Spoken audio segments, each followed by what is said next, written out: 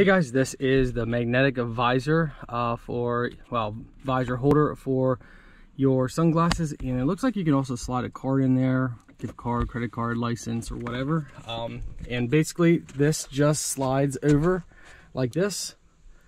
And you pull it down, put it up just like that. And you can position it wherever you want, passenger, driver side. It's all universal. So, you know, easily works. And now I'm doing this with one hand, so keep in mind we might fail here so there you go.